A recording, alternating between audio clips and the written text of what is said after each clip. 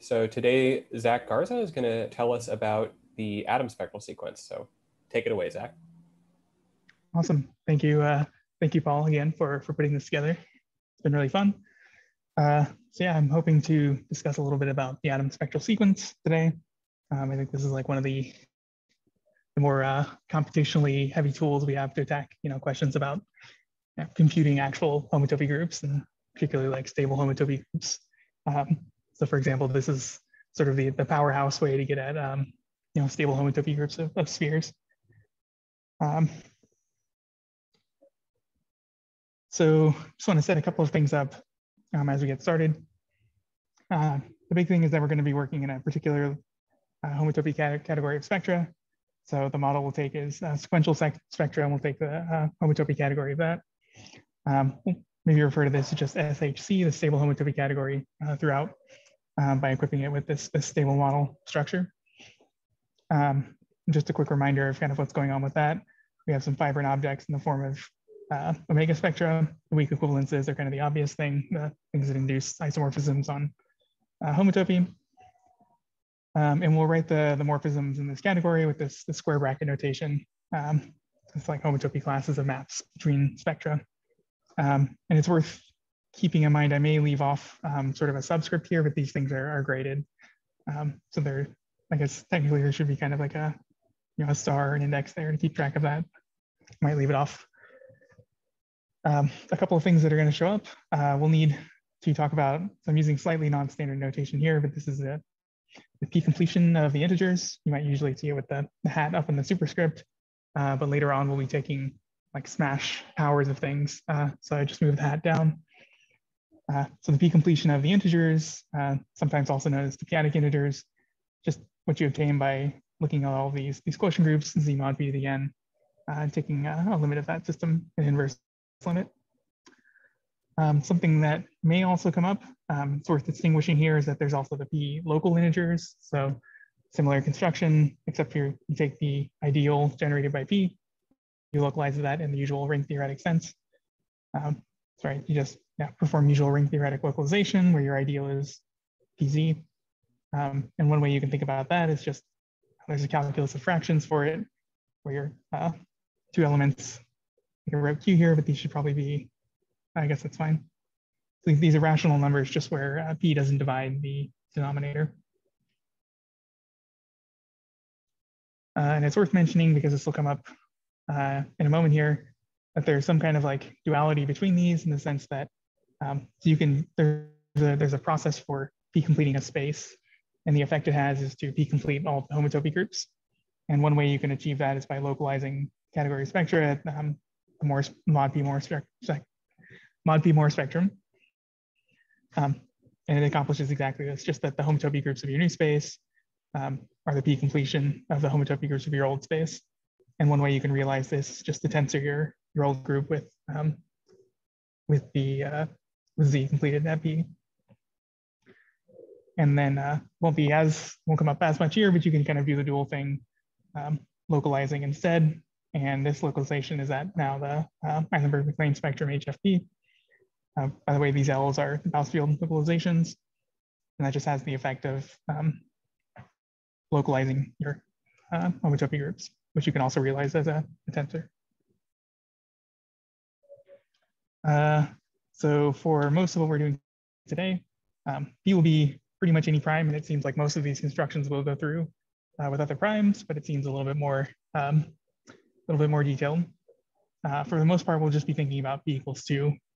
Um, let's see we can get a lot of mileage out of just looking at that. And uh, kind of the goal the agenda for today is I'm hoping to construct the Adams spectral sequence um, to kind of see what goes into building it. And um, at the end, to work out an example of um, the one line on the E2 page for a specific case of taking um, X to be X and Y, um, two things that'll be appearing in the spectral sequence. They'll both be the sphere spectrum, and we'll be taking um, HF, HF2 from mod 2 uh, Eilenberg-MacLane spectrum. So I think one of the, yeah, maybe maybe just to frame like what does the spectral sequence actually do for us? Um, we have these morphisms in this category, just homotopy classes of maps between spectra. Um, how do we compute any of these? It's kind of the main question. Um, and this immediately reduces to a really hard question. If you just take both of these to be the sphere, spec sphere spectrum, um, you're essentially computing stable homotopy groups of spheres. Um, so that's a hard problem. Uh, you can also just think of y just being an arbitrary spectrum and just take x to be the sphere spectrum, and now you're computing homotopy groups of, of y.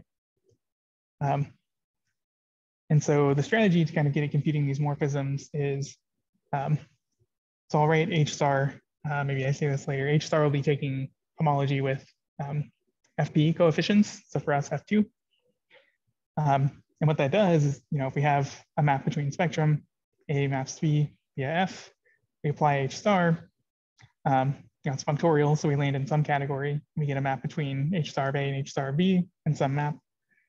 Um, and a priori, you might just get something that's like a, say a graded, uh, Z graded FP module, um, but there'll be more structure on this. Um, we'll actually land in Z graded A modules where A is the mod B Steenrod algebra. So we have homology to kind of go one way. And the idea is um, hopefully we can say, so this is like a much more uh, I don't know, somehow more structured category maybe. Um, and then we can sort of just do homological, it's, it's a category of um, modules. So we can just do kind of traditional homological algebra over here. Um, and the idea is hopefully maybe we can kind of run this machine backwards um, to compute something about homologies and then um, work backwards and say something about the, the morphism of spectra we started with. So that's kind of what the Adams spectral sequence uh, tries to do. So kind of pictorial sort of representation over here where A modules are somehow like a more rigid category. Okay, so the strategy, um, how we're gonna do this is, well, we're gonna try to cook up a spectral sequence, um, hopefully converging roughly to uh, the homotopy classes of maps. And this, this roughly is because we'll have to do some, some kind of p completion thing uh, to get it going uh, will identify the E2 page, um, you know, via an F FP module, it's an FB vector space. Um, and we'll find it has uh, the structure of a module over the Steenrod algebra instead, and that's an abelian category. And um, you know, we can do things like try to compute projective or injective resolutions, take derived functors, that kind of thing. Um, the C2 page, what we'll try to do is actually identify it as the derived functors of, of some HOM in this, this category A mod. Um, so just the right derived functors of HOM into something. And uh, what we'll essentially show is that um, what the E2 page is, is doing is essentially constructing the, the projective resolution you would use to compute this, this Ext group. Um, okay, and the, the way we'll sort of do this is um, we'll take Y as you know just some arbitrary spectrum that we want to know about we'll compute some kind of tower that uh, resolves it in some sense. Um, where after you apply, say, some homology theory, E star, uh, you actually get a projected resolution of E star Y from all of this, E star of the, the tower lying above it. And once we've done that, then hopefully we can kind of play all of these structures against each other, the A module structure, the fact that it's an Ext group, maybe multiplicative structure coming from the fact that it's on an E2 page, um, to maybe identify some generators in this thing. So generators will, will come from the Steenrod algebra. We have some generators there. And then it's just a matter of figuring out um, these things survive to the E infinity page. So do they, are they permanent cycles or not? And that's kind of the hard part, I guess. We can find some things, um, but it's, it's, yeah, it's not easy to say if they, if they live beyond E2 or E3. And it's also, I mean, maybe in complete generality, you'd want to sort of compute all of the permanent cycles, all of the differentials, um, but I think already once you get to E2, there are a lot of hard problems there. Uh, so maybe before, oh, So this is this is a very a really minor thing, but I don't think that the E2 page is a is an A module. Um, oh really? I think even if you take HOMs between two A modules, you don't. Uh, that doesn't have an A module structure because A isn't a commutative ring. It, I think you also do get an A module structure if you have uh, some extra structure on the algebra and the modules or something, like if it's a Hopf algebra or something like this. Wait, re- really? Oh, there's something like that, but I don't know if it okay. holds here in general. So commutative ring is one way to get it, but okay. um, but there's I think also a in general, Hom modules over an arbitrary ring, though you, you're right, does not have a module structure. I'm sorry, I, I could be misremembering something. Bob told me so many things over the years. So No, it's okay. I, I could be. Uh, yeah. What? But it, but it's, I mean, Can I ask? So, is it a co-module over A? Well, it's it's HOMs between two A modules. Um, or it's I mean it's it's Ext between two A modules is what it is. So I think I mean that has in the case where you're computing the homotopy groups of spheres, that's a ring, for example, um, because you can sort of multiply together Ext classes. But um, so that uses, that that's an interesting fact because it has two different multiplicative structures that happen to agree. And that's the reason you know it's commutative. It's like the Eckmann-Hilton argument. But um, a priori, the way you show it as an algebra structure is that uh, the sphere is both a coalgebra and an algebra because it's the monoidal unit. okay. Anyway, maybe I should Yeah, just yeah. let Sorry. Zack no, no, it's whatever he sorry. wants to I, prove. I definitely No. should. Sorry. All right, sorry, Zack. Is, is- is this just a general fact that if you have a HOM between R modules, then that might not have its own R module structure and the Ext might not as well?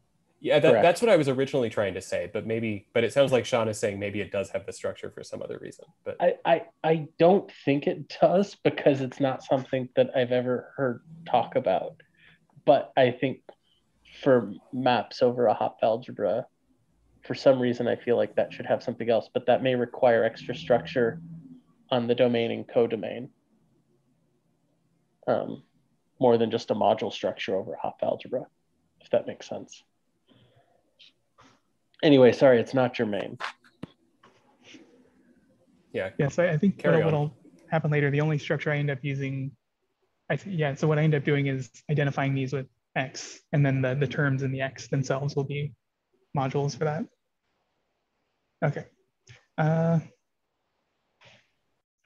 yeah, so I, I somehow as I was working through this, I think it's actually maybe most useful to go through this like ahistorically to like start with the most uh, general one and then see how it specializes. Um, so we're gonna have to restrict to a certain category of spectra, um, finite type and bounded below. It's finite type, it's just um, each uh, homology group should be finally generated in each degree. Bounded below just says there's some cutoff below which um, the homotopy groups vanish. Um, and that can be in some negative degree, that's fine. Um, but sort of the, the most general statement of this is that if you have two, uh, two spectra and you have any cohomology theory, then the way the spectral sequence will go is that you'll have an E2 page, E2SC, it'll be Ext over E star E. Um, it'll reverse the order.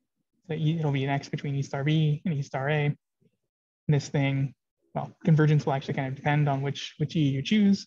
But if it converges, it'll converge to homotopy classes of, well, almost A and B, except for it's, you're gonna have to localize at E first. And the grading you'll pick up is T minus S. I think this needs some conditions on E, like Oh, it really? satisfies the Adams condition or something. Um, there's one you can do in fair in a fair amount of generality where you can identify the E1 page, um, but uh, yeah, that's that's probably the right thing to write. Is that, uh, is this more about the, the convergence or just like that the spectral sequence exists at all? It's about identifying the E2 page with Ext. Uh, Yes. and that the and that it's related to the localization.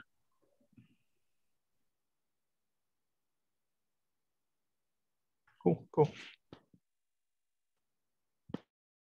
Um, oh yeah, I just put a couple of notes over here, just on, on notation. Just one thing is that the, the A and the B get swapped here.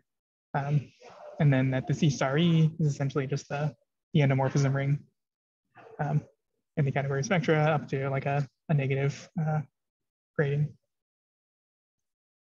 Okay, so we can we can pick a, a nice cohomology theory, say um, HFB, so you mod B um, singular cohomology. Um, so H star X will just be a singular cohomology of X with FP, and I'll just write H star X for the FP cohomology for the rest, rest of the talk. In this case, what you'll get is the two page will now be Ext over the mod P Steenrod algebra. Um, and I'll leave off the P here just because we're working with a P the entire time. And we'll probably take P equals two pretty quickly. Um, in this case, um, from that fact about localization earlier, what you're going to get is homotopy classes between A and the, the P completed version of B. And then finally, if you, if you just take both A and B to be the sphere spectrum, um, you have to kind of identify what is this cohomology ring for the sphere spectrum. Um, maybe not too bad. Just once you run through it, you can compute it as homotopy classes of maps. Um, so you can extract this nth grading by moving the, the suspension in. And if you have this kind of thing, then you're really just computing, say, the negative nth homotopy group of HFP. But this is just has homotopy supported in one degree, so it's just an equal zero. Um, so in any case, the cohomology ring is just one FP in, in degree zero for this. Um, and then the other thing you, you kind of check is that there's another way to write the, the completed version of the, the sphere once you take homotopy groups of this thing. Um, what kind of falls out of it is that you get the homotopy groups, the stable homotopy groups of spheres, and then you tensor with um, the completed P. All that to say, what you get out at the end of the day is that this Ext group is Ext over A of FP in itself, converging to stable homotopy groups of spheres up to a P completion.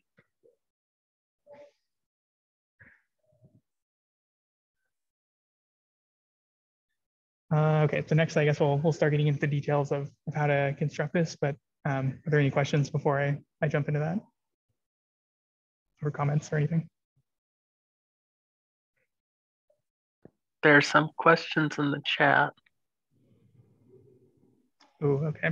I'm not I'm not keeping a close eye on it. No, it's fine. It's impossible to do both.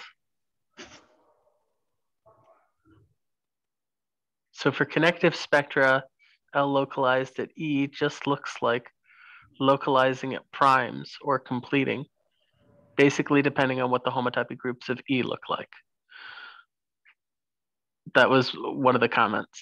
So if E is connective, um, then localization with respect to E is, I think, the same as localizing uh, with respect to pi naught of E. Is that Uh, what you? And then it just is an effect on the homotopy. Is that what you meant, Liam? Yeah, I mean, so all I'm just saying is that localization with respect to certain spectra is like really simple. Um, it, it's not clear. It's in fact like a theorem of, of Bousfield um, that that this is that this is true, and it, it depends on something called the acyclicity type of the of the group of your homotopy groups, basically, um, if you're connective. Um, that's I was just trying to say that like for a large class of spectra, localization is relatively simple. Um, that's basically.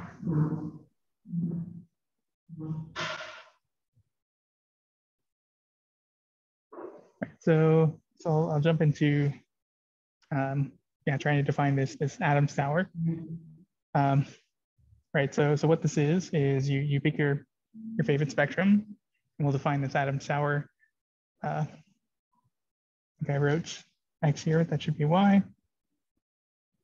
Uh, so essentially, the, the bottom part of the tower, I'm just writing it sideways, uh, will just be your space. And you'll have some sequence of maps over it, y1 mapping in, y2 mapping in, uh, such that each uh, three of these will form a co-fiber sequence. So J naught is the co-fiber of I naught, the homotopy co-fiber, and J1 is the homotopy co- co-fiber of I1, and so on. Um, sub subject to some conditions. So yeah, just that these are the homotopy co-fibers is fine.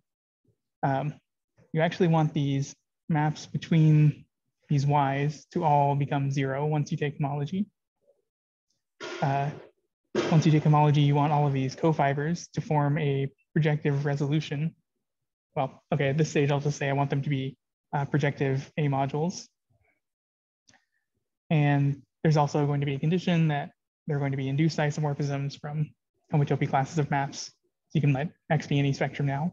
If you're mapping into one of these cofibers, um, that should be the same as uh, taking HOMs in A mod out of this, this co-fiber.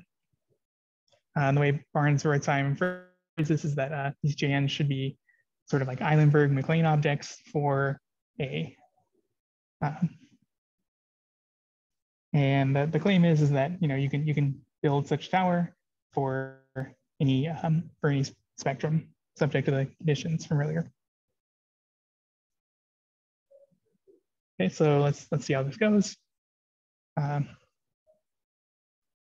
pull up my notes just to make sure get this uh, right here. So yeah, the first thing you do is you start off with, um, so we're just gonna uh, do this for, for HFP, and we're also just gonna do it for the sphere spectrum. And then what'll happen later is that if you wanna do this for an arbitrary spectrum, you can just kind of take this whole construction, smash your spectrum into it, and carry everything around. Um, so you kind of start off with, um, I guess there are a couple of ways to think of this map. as a map from the sphere spectrum into HFP. Um, you can think of this as just like this is maybe like the one of the maps coming from the monoidal structure on spectra. Uh, there's a way to think of this as like inclusion of a bottom cell into HFP. Um, but you sort of have this map naturally floating around and you can just take its homotopy co-fiber or homotopy, if we want this to be a fiber. And we'll write um, E for, for this thing just to save ourselves some notation here. And then E var will be the this, this fiber. And the claim is that the, the following tower uh, works. So you take Y and be able to resolve it by E bar and then two smash copies of E bar and three smash copies of E bar and so on.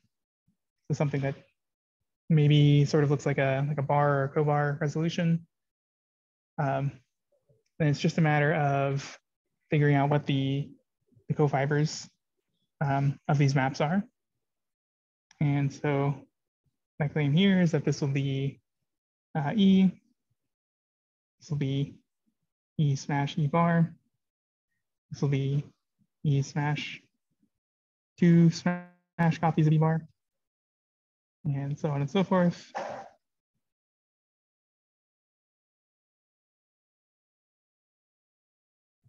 And uh, it's, it's not too bad to actually get a handle on, on what these maps are and to just compute these co-fibers. Um, kind of the way you do it is we had this kind of sequence to start off with. E bar mapping into the sphere spectrum, mapping into E, just uh, by definition. And so just take this whole thing and smash it with, um, I guess, E bar on the right. So we'll pick up E bar smash two. Um, here I'll just use that when I smash this with E bar, I just get an E bar back. And I get an E smash bar. And so this is, uh, maybe I'll label this, this will be, I think, I1 corresponding to this I1 there. And uh, I guess this one here is already our I naught corresponding to this I naught up here.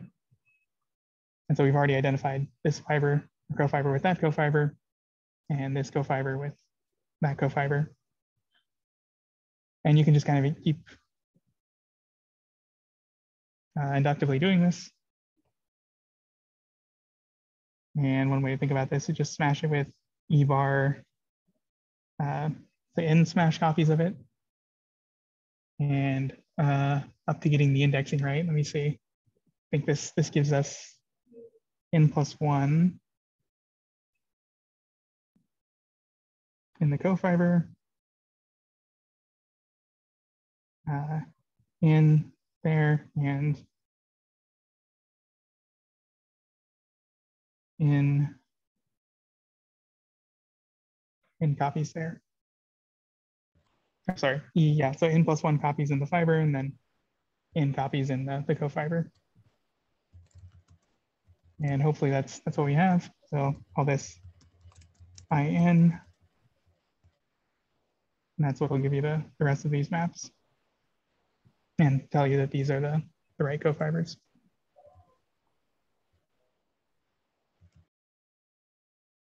And so yeah, the, the remark here, hopefully I have it down here. If you want to get a tower for A, um, just in, in this entire construction, just keep a, a, copy of A, smash everything around, um, or maybe something smash A, depending on and you might have to put it on the left or the right or something, but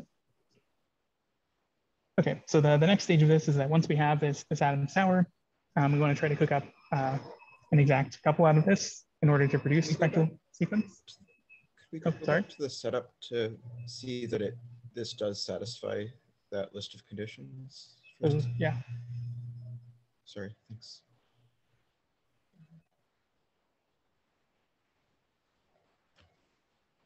yeah. So we, we do get uh, this one. I guess this one is probably not so clear. It, it's related to the maps and the diagram, uh, like the specific Adams Tower you chose or constructed, and facts about um, cohomology, right? That you have a Künneth isomorphism. So this is equivalent to something called the Amitsur complex or the cobar complex, which comes up in commutative algebra. And you just sort of, because you know that the Steenrod algebra is a augmented FP algebra, I guess, and some other things about the algebra structure that certain maps are going to be surjective, therefore these maps are zero. This also gives condition four in some sense. I think that's not completely obvious, but Condition three. uh, also um, because you took the because the e bar thing is the you have a Künneth theorem and this e bar thing is a cofiber. So um, you're sort of just splitting off the bottom piece. So I think you know the cohomology of the e bar thing is a, a sum end of a free. Okay, that's that's summation split somehow. Yeah, I think that's is that right. I don't know. That's the what's coming to mind right now. Oh, I'm sorry, I'm all over the place. So if if you all like, there's a much uh, there's a more sort of ad hoc way to do this, where in it, you you pick each of the JIs to be a wedge of copies of of HFP that's large enough to um, so that its cohomology surjects onto the cohomology of the corresponding Y. Um, and then if that map is a surjection on cohomology, then the I's induce zero on cohomology. Um, and I don't know, maps, you can identify maps into a wedge of HFPs with, with maps on cohomology. Um, so that's that, what Zack is doing is like a more sort of a more sophisticated version of that, I guess. I saw um, I couldn't find details spelled out for this, but it sounds like this is this is some kind of like killing homology construction. And I read somehow that this is supposed to be kind of somehow similar to like a like a Postnikov tower where the, the things are like wedges of uh, more spaces or something when you kill off the homotopy. That, so that's what Evo was just saying in the chat. Um, Oh really? okay. yeah, I, I couldn't I- find I this think it is analogy pretty similar. out though. I mean, asking, not saying. yeah, yeah, yeah. But like, so in, yeah, I don't. Know, maybe this is getting getting off topic, but in in in Mosher and Tangora, they talk about this way of computing the homotopy groups of spheres by like writing down the Postnikov towers of all the spheres and and doing some kind of complicated inductive argument that uses knowledge of the cohomology of the Eilenberg MacLane spaces that appear in the towers. And this, I, I think this is like kind of what inspired the Adams spectral sequence. So Bob explicitly mentions this kind of thing in section one of his primer on the Adams spectral sequence. He sort of goes through doing the Postnikov tower computation for computing the homotopy groups of spheres, and then at the end of the first section, he he starts talking about how you get the atom spectral sequence by trying to kill all of the homotopy that cohomology can see at each stage.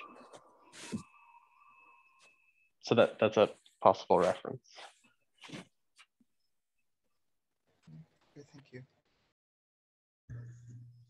Yeah, I will say that while I was reading up on this, like the, the literature is kind of all over the place. I think there are like about like six or seven different ways to do this. they're all like slightly different, different conditions, even on like the Adams tower. Some people only require um, that these maps and four are just surjections. Um, some people only require like two conditions that I think imply some of these others. So uh, fun, fun times. Okay, so uh, okay, so we have we have this kind of situation here where um, we sort of have, have, a collection of co-fiber sequences like this um, that are kind of interlocked in the sense that yn plus one is here, but you know, one stage up in the tower, you'll have yn plus one and yn plus two with another co-fiber. Um, so that's a hint that maybe like an um, like an exact couple might work in this situation. Um, so what you do is you you take one of these these co-fiber sequences, you can just apply uh, pick your favorite spectrum, apply the functor sort of humming from that spectrum into this, this sequence. Um, by some some business about you know you can do sort of do the the Puppe sequence in in spectra, um, maybe messing around with some covariance versus contravariance. You can extend this out into a, a long exact sequence because now you've gone from the stable homotopy category into something that's like abelian groups or graded abelian groups. So you get some kind of long exact uh, sequence between the classes of maps. And uh, what you do is you kind of just sum all of these up over n. So uh, here we're taking, uh, yeah, how do I wanna, this, this is what you get kind of at, at the end of the day. Sum over n of classes of maps of x into yn plus one uh, into, well, you have a yn over here, essentially coming from this and this. Um, but once you sum over n, you can identify these. They're just off by one shift. Um, so I can in fact just go in and erase this n plus one here. And from this, get that kind of thing. And uh, the boundary map that it kind of gets you back is just coming from these, assembling all of these boundary maps in the, along, along exact sequences together. Okay, so at least you have uh, some exact couple coming out of this. Um, all right, so I included just a little bit of, of background just on exact couples. Um, maybe just kind of point out like some of what the general theory, theory is. Uh, in general, like once you have an exact couple, um, you can kind of produce a spectral sequence out of it, but I wanted to at least show how you kind of like, it's, it's an inductive procedure. I want to show how you like turn the crank for the first, first step. The, the general sort of theory is that if you have an exact this form where this, these top two complexes are the same, you have some different complex down here. Essentially, you're going to um, get a derived couple by kind of taking homology of, of this whole thing. Um, and you'll get a new exact couple out of that. So you can just run the same thing on it. Um, and so just how this, this goes, like roughly this will be like what gets you started. And then this first derived couple will be uh, one. I'm not sure, it might be off by an indexing something here, but this is going to be one of the pages of the spectral sequence essentially. Um, I'll just mention kind of how it goes. Exactness is just that the composite of any two of these maps is zero. Um, so you'll use that at some point. To define this new exact couple, you have this map up here. And so on the top, you just kind of restrict it to its image. Uh, you define a differential um, essentially as k composed j, which will take you from B back to B. Um, yeah, that's what I'm doing here is just restrict this i to the images boundary map on B is going to be um, this J composed K. You can take homology with respect to that boundary map as long as you show that D squared is zero. These two maps here, there's like a J, J tilde and a K tilde. Um, I won't say too much about them except for that they're, they're just sort of induced by these, these J's and these K's in kind of an obvious way. Um, essentially, if you, you want to do something, if you want to apply this J tilde to some A prime in this image, you essentially just send it to an equivalence class. And so the only things you have to check is just that, you know, is this kind of thing well defined? Um, and it all works, it ends up just being a, a diagram chase. Same thing with the, the K tilde, you're mapping out of equivalence classes, so you're choosing representatives. So same kind of check there. Um, yeah, so maybe I won't go through all of this, but I'll just point out that there are like 10 things to check. And then there's also checking exactness of this, this new couple you get. Uh, it's like a very, very long exercise. It's spelled out at least partially in, in Bott and Tu if you want to go uh, look through that. But um, the way this kind of goes is that you'll set ER so once you know that this thing is a new exact couple, now you can just apply the same construction again. You set ER to be sort of the homology of the previous exact couple with the, the boundary map you define this way, and you get pages of a spectral sequence out of it.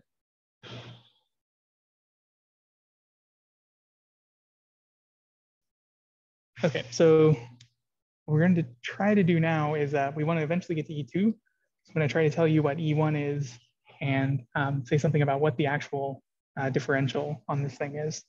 Um, so that way we can know E2 is going to be homology with respect to this, this new differential.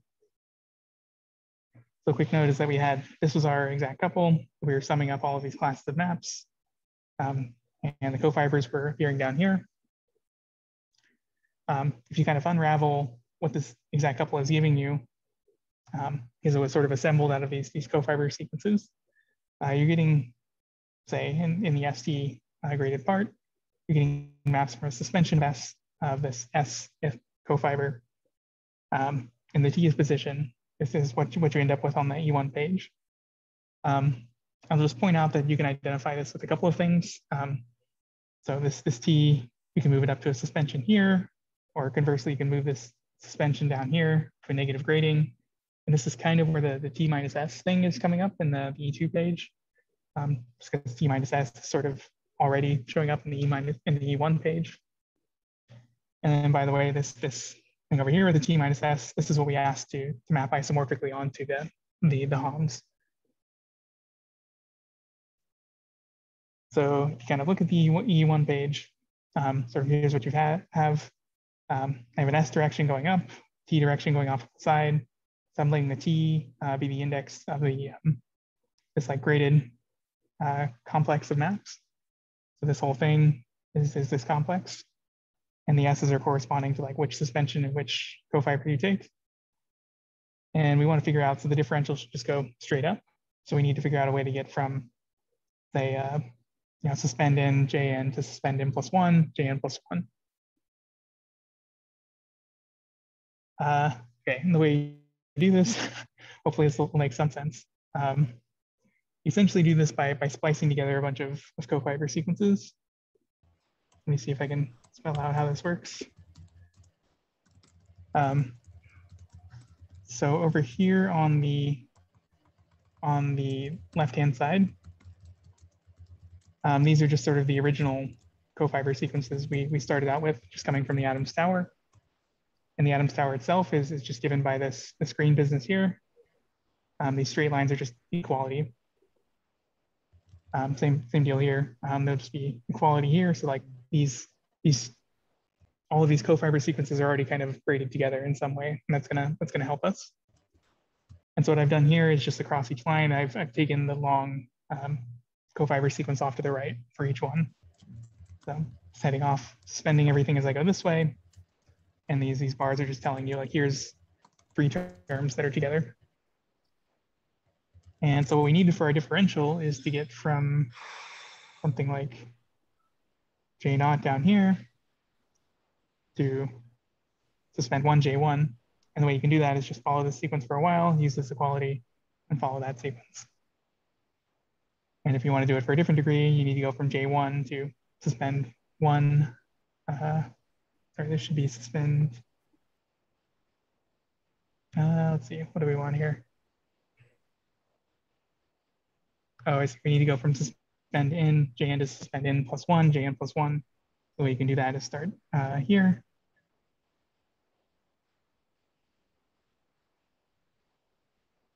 And just sort of do the same thing, follow it up there. And so you just assemble these. I've just done it here at one level. Your D squared is something that's gonna go from J naught to suspend to J2. And one thing you can notice is that um, in the middle here, you're traversing three terms in one long cofiber sequence. So that thing will be null, uh, null homotopic. That's kind of where the D squared equals zero is coming from. And then once you have these maps on the, the J's themselves, um, we needed maps right from these um, like homotopy classes of maps. So you just kind of take the, the differential to be, you have one from J's to suspend J's, um, and then you apply maps. You apply, uh, that functor to that differential to get the new one. Oh. And so this, this pink differential here is this one appearing that uh, moves you up in the E1 page.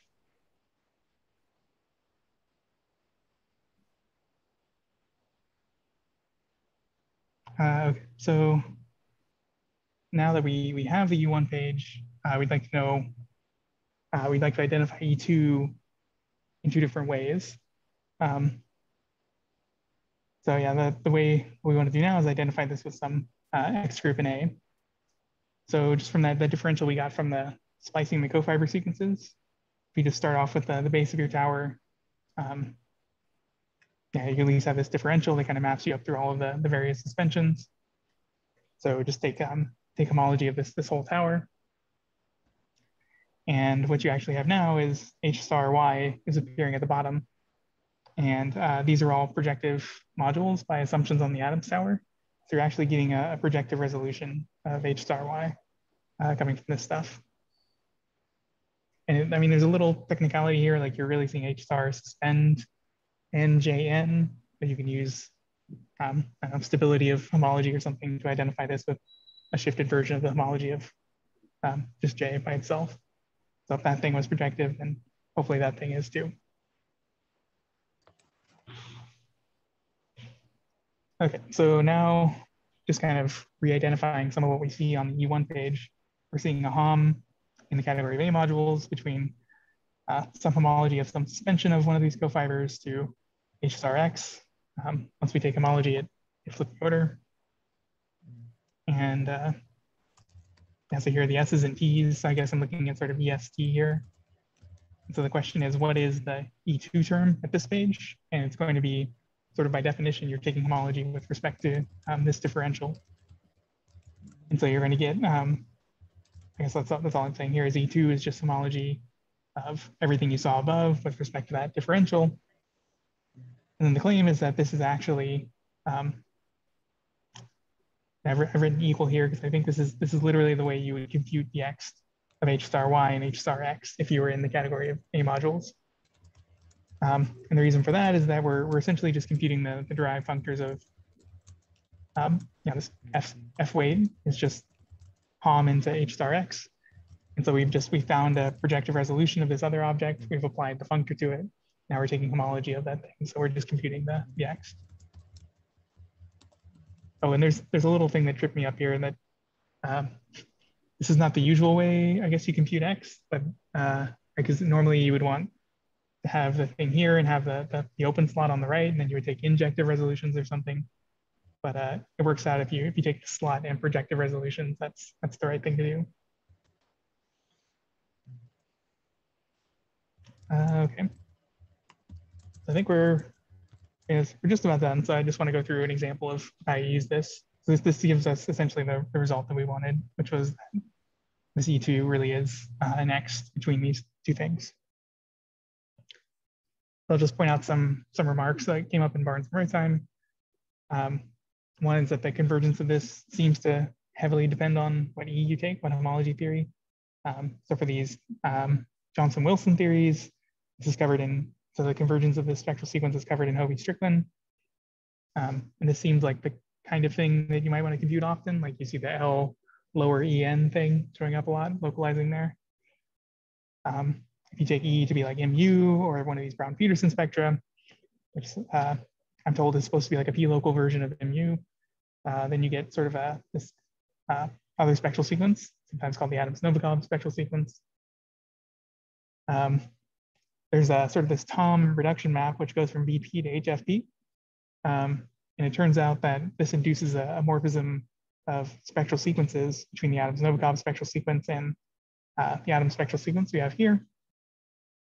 And there's also some sort of like comparison theorems on like, um, you know, if you have filtrations coming from the spectral sequence that are bounded by a length of n, then you can kind of um, bound the, the lengths of filtrations in the Adams-Novikov as well.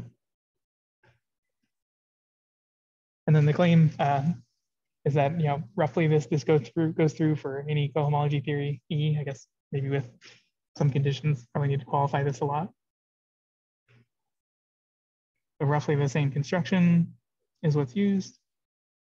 And uh, you get the localization on that side instead, but you also get the, the same kind of Ext just over a potentially different, um, yeah, in a, in a potentially different category.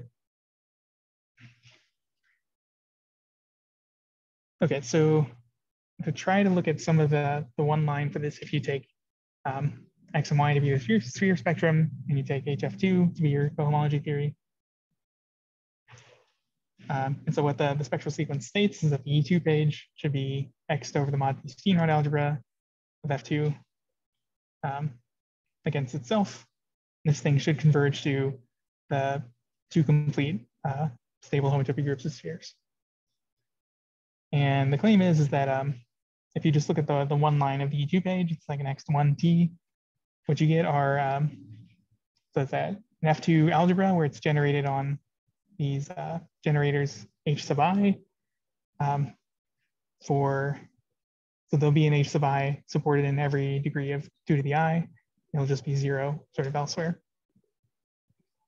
Um, and I'll tell you what these H, H sub i's are. They'll come up in the proof. Uh, so the way this goes is that we, we use the fact that this is an, an Ext. Um, so any class in here is giving us an equivalence class of extensions in this category A mod. So it corresponds to something like this. Um, so there's an F2 on either side. Um, this F2 over here ends up being shifted by T, and there's some sort of unknown um, A module in the middle.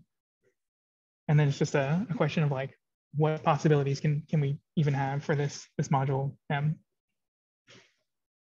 Uh, uh, right, so yeah, this F2S notation or F2T is just telling you that there's an F2 um, in degree S generated by um, some elements of, of degree S.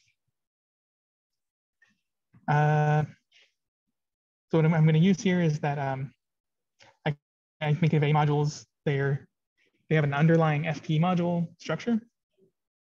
Um, so I can, I can think about this sequence and how it splits as FP modules. And then this is kind of like a standard thing when you have like algebras, you know, over a vector space or something. It's like you can have things split in the underlying vector space because homological algebra over vector spaces is, is kind of easy.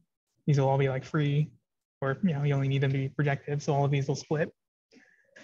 Um, but then they might not split once you add on a different, a, you know, additional algebra structure on top of that. Um, yeah, so this yeah, F, 2 is certainly a, a, free F2 module over itself. So you can you can get a splitting of this sequence in the, the category if you forget the A module structure.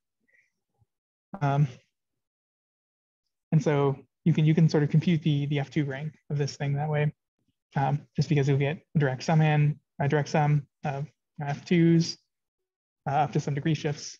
So it'll be F2 generated on two elements, one in degree zero and one in degree uh, T for some T. Uh, but you know, this is just telling you as a as a an F2 vector space, it's dimension two. Uh, but of course, this might not split in the larger category. Um, so what we'll try to do is sort of um, now use the structure of the Steenrod algebra to um, more finely pin down what possibilities extension for extensions we could have.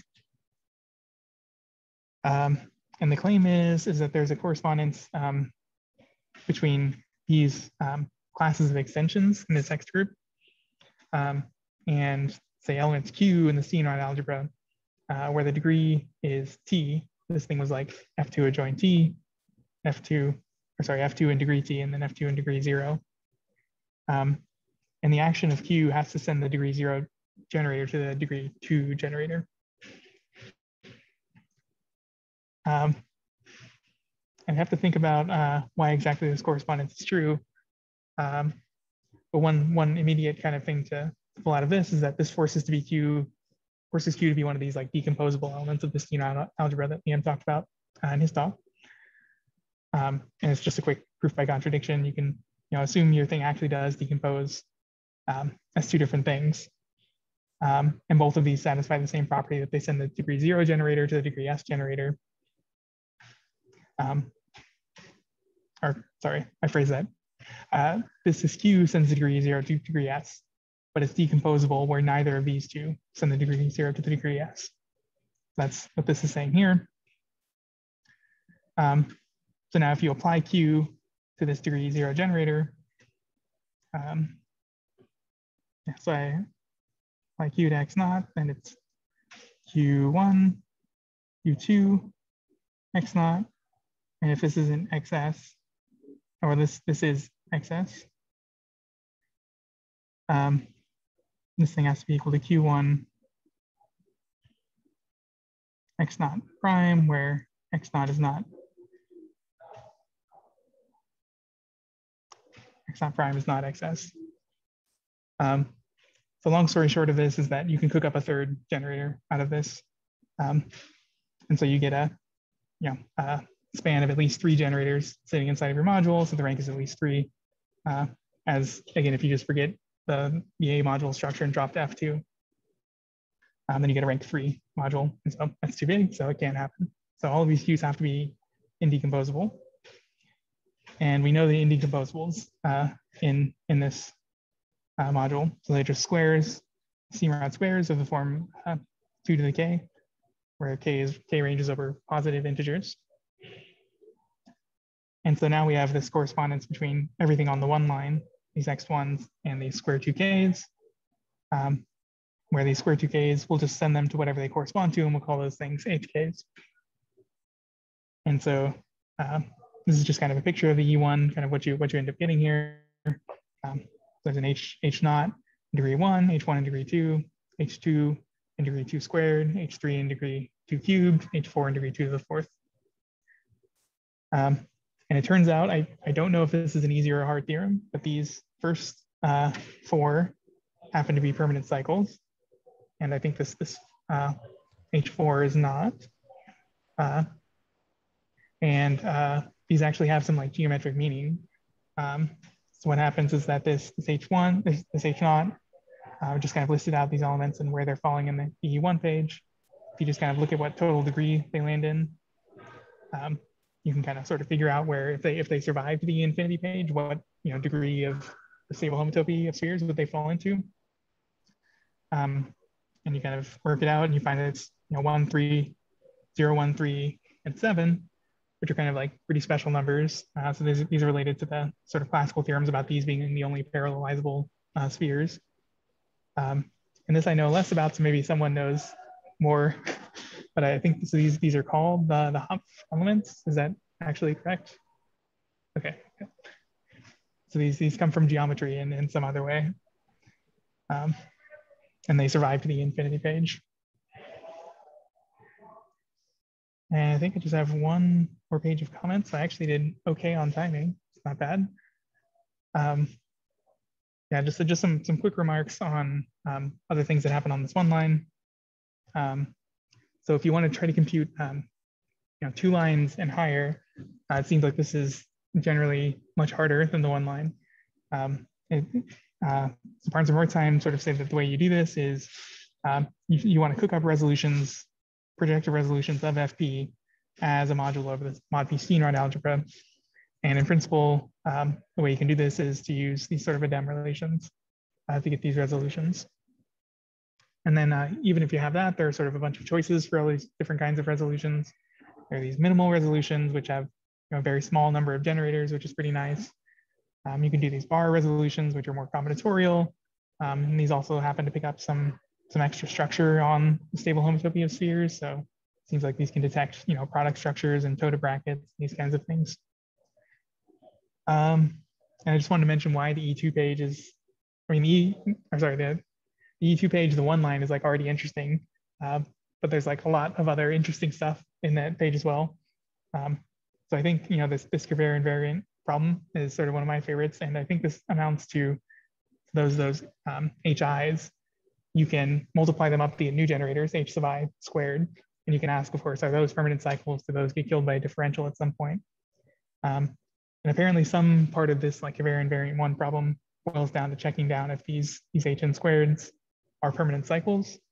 And I uh, don't know what the status of this is. I imagine this is, if there's anything, it's, it's pretty recent.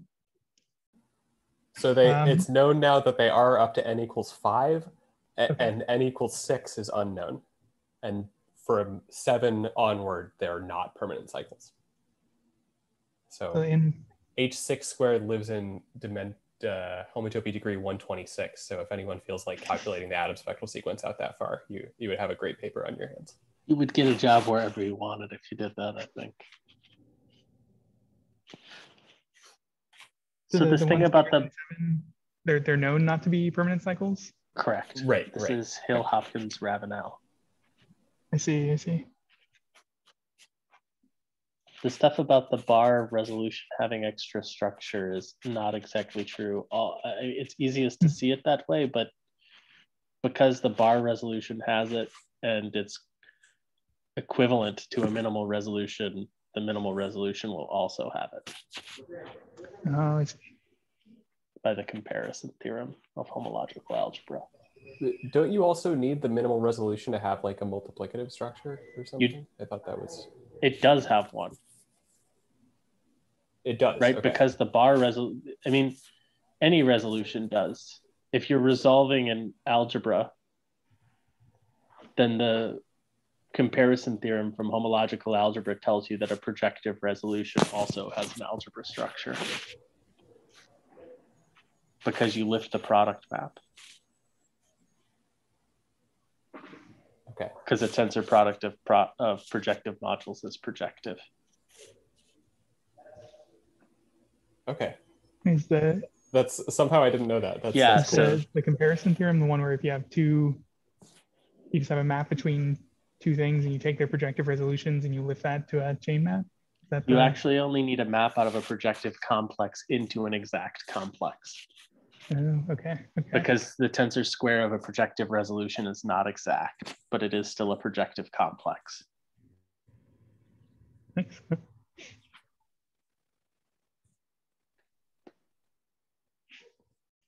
So the, the only other thing I was going to mention is I tried to uh, to run through some of the spectral sequence where you, know, you just take these elements. It's a I don't know if it's obvious that there's a theorem, but there's a product structure on the E2. Um, it's kind of the same way in the Serre spectral sequence. You can just kind of start multiplying elements together and see where they land. And then if you have a bunch of things landing in the same spot, um, then you kind of get relations out of that. Uh, if you just start freely taking this stuff on the E1 line and multiplying it out, uh, you can get a lot. but I guess, uh, yeah, it's hard, it's hard to tell how many of those are actually like, are they cycles that get killed by a differential immediately or survive or something? But yeah, So I, don't, I don't know how, how valid this this kind of computation is. So some of those things I think aren't there, but right. So for example, h naught times h1 is zero. I see, I see. So all of the vertical bars coming off of anything diagonal are are, are zero. Um, How, how, does one show this kind of thing? Um, I think you. So there are two ways of. Sorry, So this there is are three ways. There are three ways. here. Of, sorry, which one? Yeah, that H, one. H naught times H1. Yep, that's zero, and so everything above it is zero. Um, Oh, nice. Okay. and then similarly, right? Since um, since h naught squared is a multiple, since h1 squared is a multiple of h1, that vertical tower vanishes as well. Uh, looking at this one. Mhm. And then the one after that as well. Any anything above this line? Yeah. So there's um three ways to represent elements in Ext, and for each of them, you can. Sorry, three ways. There are two ways to represent elements in Ext in terms of either cocycles, like maps out of the resolution, or in terms of extensions. Um, and then there are three ways then to represent the product. And the easiest way to compute the product is probably by using composition of cocycles and just looking at the minimal resolution. And because it's only on the two line, it's not hard. And the particular relevant parts of it are um, look like the extension representatives you wrote down. Um, I don't know. I, I don't feel like what I'm saying is actually clear unless one starts drawing pictures. So I apologize. But but computing that h not h1 is zero is uh, not particularly hard.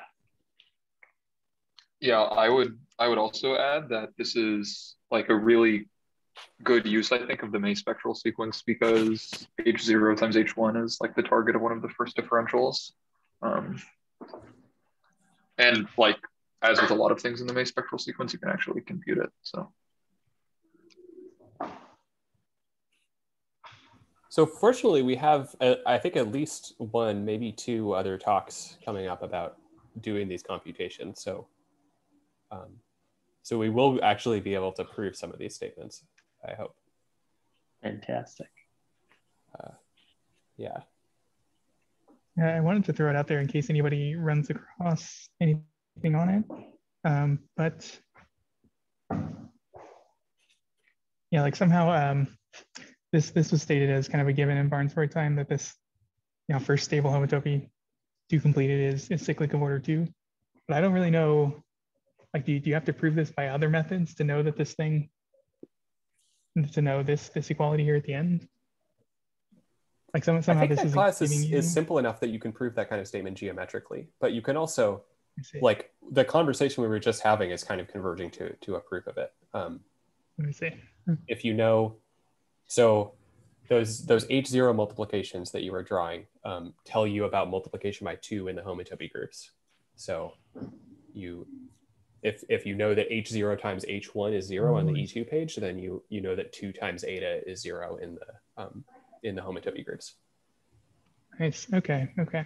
Yeah. And also, since you know that pi zero of the sphere is the integers or the two adics, you know that that eta can't support a differential.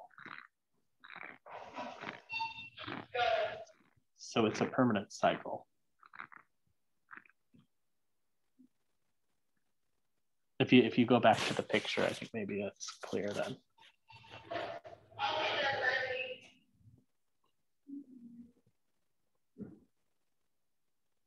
The eta. So you've got that red dot, and any differential on it goes one column to the left and one or two or three up. Ah, I see.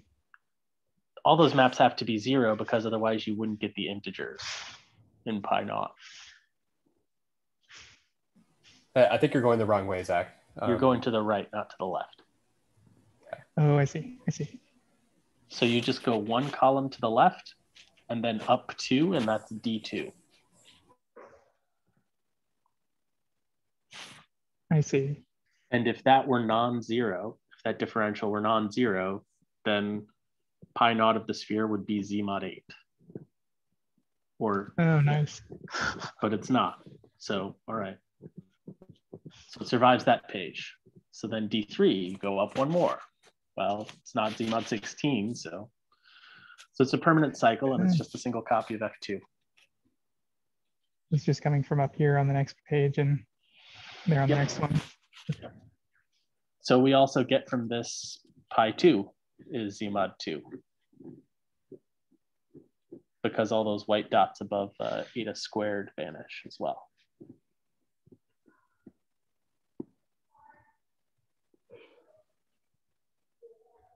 Does that make sense?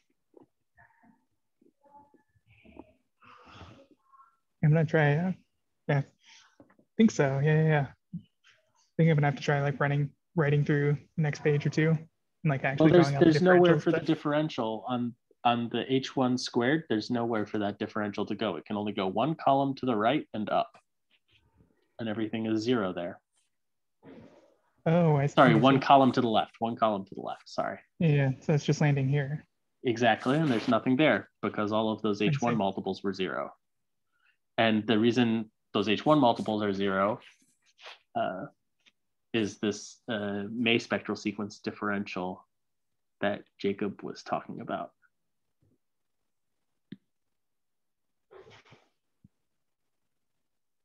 I mean, you you can either compute it with the product structure on Ext, or you can compute it with the May spectral sequence, but those two things are are really equivalent because the May spectral sequence differentials are coming from the product structure, or if you're doing the dual Steenrod algebra, the coalgebra structure.